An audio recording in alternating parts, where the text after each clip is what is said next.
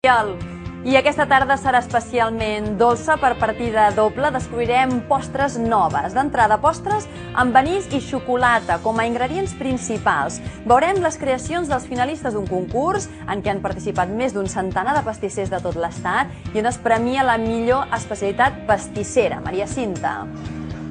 Doncs mira, un concurs que presideix aquest mono que dona nom a la coneguda imatge d'anís que a més a més promociona aquest concurs. Aquest concurs, per cert, el guanyador que s'emporta 2.000 euros i a més a més la possibilitat que les seves postres es converteixin en alguna cosa tradicional a les nostres taules. Doncs ho veurem de seguida. Fins ara. Són els primers temes d'actualitat que us explicarem. Les connexions en directe estan a punt, però també ho estan les seccions. Avui totes aquestes. Debuten al Palau de la Música i on també hi ha molt talent aquesta tarda és on anem ara, a l'Escola del Gremi de Pastissers de Barcelona. Un centenar de pastissers i de regusters de tot l'estat han protagonitzat el cinquè concurs a la millor especialitat pastissera. Els participants poden fer el que vulguin amb l'única condició d'usar com a ingredients principals l'anís i la xocolata. I ens imaginem que la Maria Cinta estarà temptadíssima enmig de tants i tants dolços.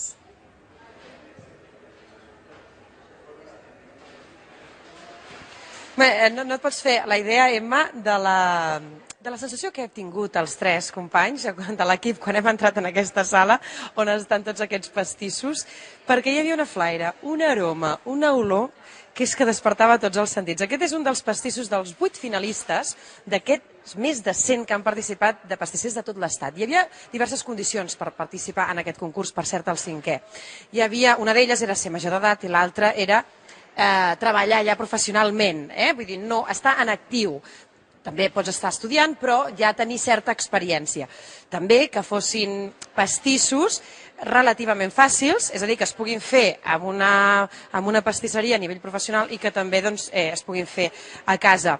Clar, jo ara els tinc aquí, els vuit, eh, difícil, eh, trabajo difícil, Miquel, eh, tú como miembro del jurado, de deliberar, ¿no? Sobre tanta, no sé, es que se me, no, se me está haciendo la boca aguas, porque yo todavía, encara no n'hem tastat cap, eh?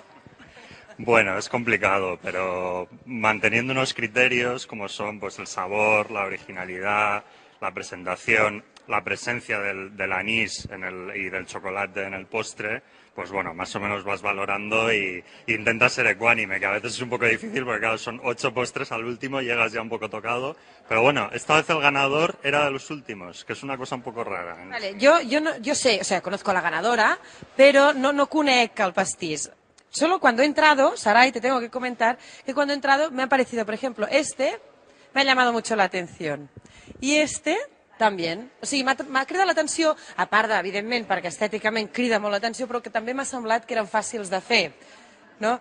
Estos dos. Eh, ahora dime, Saray, ¿cuál es el tuyo? Entonces ya te felicito. El más bonito, el más El bonito. más bonito.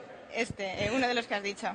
¿Y tiene nombre este pastel? Un falso cupcake o un cupcake enmascarado. Pero esto es fácil de hacer. Sí, realmente he intentado elegir dos recetas que creo que son muy buenas, pero son sencillas de hacer para cual- cualquier persona. Desde lo puede hacer desde un profesional del sector hasta cualquier usuario en casa. La Sarai, eh, és el que dèiem, no? que també podia participar gent que estava estudiant o perfilant els seus estudis, com a tot arreu, i també treballant. I ella dona la casualitat que és estudiant de tercer curs. Sí. Encara no has acabat i ja estàs aquí amb un concurs guanyat. Sí, bueno, es que en la escuela siempre nos animan a, a participar en este tipo de concursos porque dan experiencia, bueno, y siempre es algo positivo, siempre puedes llevarte algo positivo de este tipo de concursos.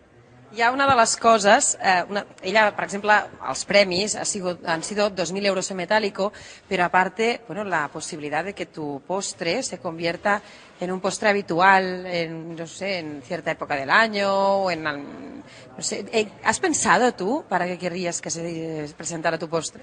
Eh, realmente creo que la verdad que es un- una elaboración que se puede utilizar o a la que se puede recurrir en cualquier época del año, porque creo que, que es fr- fresco y es, creo que es sutil y es suave y creo que para cualquier época del año podría ir bien. A veure, en tenim altres, eh? Si els poguéssim comentar una mica. Aquest, per exemple, aquest d'aquí, tots tenen anís i xocolata que són ingredients indispensables. De fet, l'anís, quan es fan postres, ja és un elemento que se añade, ¿no? El anís, un poquito. Los buñuelos, las cocas, ¿no? Sí, sí, sí. Bueno, es un licor muy típico de la, de la gastronomía, de la repostería en, en España, ¿no? Eh, lo que pasa que, bueno, también una cosa que hemos valorado en el jurado era que, que el anís estuviera presente, ¿no? Y quizá en algunos, pues no se notaba tanto, eh, sin embargo, el de Sarai, mm, o sea, te lo comías y te dejaba un aroma a anís eh, después de tomarlo mm, muy, vamos, para mí delicioso, ¿no? Eso ha sido una de las cosas que más me han gustado del postre. Y luego también que, que de alguna manera dign- dignifica algo que, como el cupcake, está un poco maltratado y, y lo trae un poco a nuestra tradición, ¿no? no mm, en realidad, The Cupcake tiene la forma, pero no es un postre americano, es un postre muy nuestro, ¿no? Mira, a veure, tenemos aquí un que podria passar per panya, pan, panellet. Panellet. Aquest també que portaria un mil fulles, no? I això seria com una berlina, mini berlina de chocolate. Sí, esto es, bueno, este era como un poco como tomarte un trozo de donuts relleno de, de chocolate, estaba bastante bueno también. Y sí, es, es- el otro es un panillet eh, clásico, este era un bombón también bastante clásico, esto es un flan sobre una galleta. Este, por ejemplo, pues tenía muy buena presentación también, pero quizá lo hemos visto un poquito más difícil de, de- de hacer en casa, ¿no? Es un, no sé, una cosa más como de, de pastelería, pero estaba muy bueno también. Bueno, pues jo os agradezco haver-nos atendido, Miquel i Sarai, i jo, evidentment, acomiadarem aquest directe mm, fent un tastet, eh? fent un tastet d'aquesta berlina, perquè encara no l'hem tastat, que aprofiti bona tarda. A veure com està, eh? Està tan emocionada que ha dit berlina i ha agafat, no ha agafat la berlina, ha agafat el guanyador, que és aquest cupcake emmascarat. Bé, li encanta, ja ho veiem. Bé, estem parlant de rebosteria de menjar i no ens desviarem gaire de la temàtica. Donarem pas ara a la secció dels fogons a la Lali.